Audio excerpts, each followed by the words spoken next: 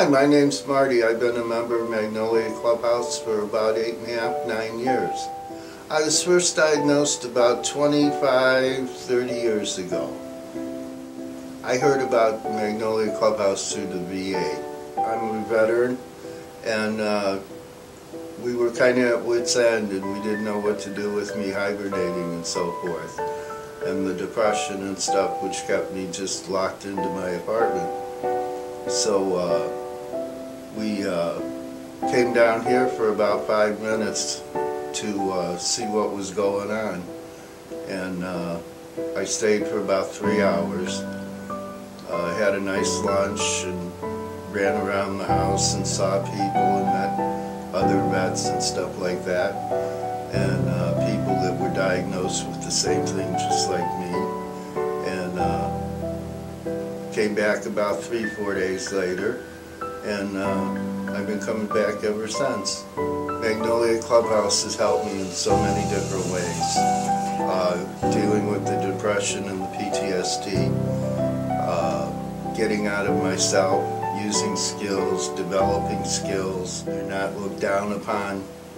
Uh, mental illness is an acceptable thing, where it's like uh, a lot of other, other agencies, have offices and you know, it's doctor and medical type stuff. Here it's more just us working together side by side with the staff and members together. My favorite part is being able to get out of myself.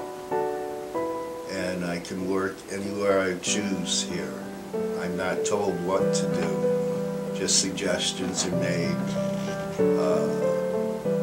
I can work any place that I so please in the kitchen, from finance to the store, uh, the business unit, anywhere that I want, depending how I'm feeling that day. My future goals are keep coming three to four days a week. It's part of my treatment plan and my goals that we have established here in the clubhouse and uh, maybe towards the spring, summer next year, start looking for some type of employment. The clubhouse is a great place. It saved my life many times already. Um, there is things here that you only know if you come to the clubhouse and experience the, the feeling. And there's any clubhouse worldwide I've been to other clubhouses and uh, it's the same feeling. You go in, the acceptance. Mental health people are accepted. It's a way of life. And what do you want to do today? How are you feeling? How are you doing? Let's get going.